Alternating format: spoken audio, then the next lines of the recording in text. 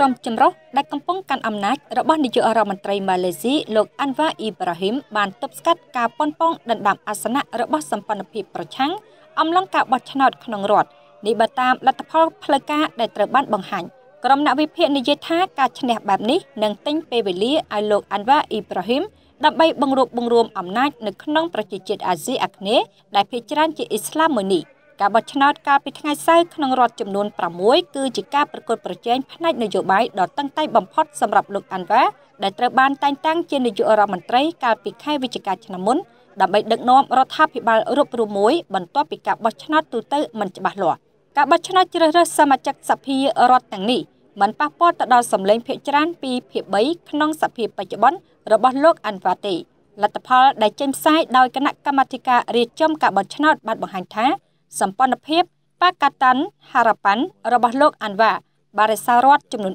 3គឺសេឡាន់ហ្គោពេណាំងនិងនីហ្សេរីហ្សេមបេឡាន់សម្ព័ន្ធភាពបកប្រឆាំងពេរីកាន់តាន់ National ដែលសមាជិកសំខាន់នៃគណបក PAS មានគោលបំណងបង្កើតរដ្ឋលទ្ធិប្រជាធិបតេយ្យនៅក្នុងប្រទេសម៉ាឡេស៊ីបារិសាការកាន់កាប់របស់ខ្លួនលើរដ្ឋកិនដា Teren Ganu និង Kalantan អ្នកវិភាគបាននិយាយថាការរក្សាបាននៅរដ្ឋ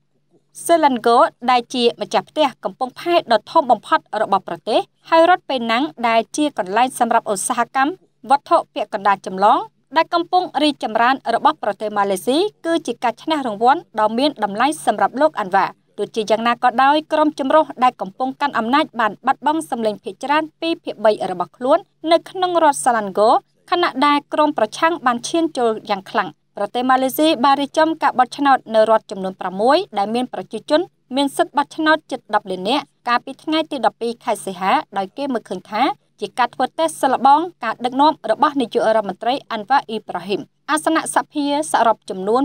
245កៅអីត្រូវប្រកួតប្រជែងនៅរដ្ឋទាំង6នោះ។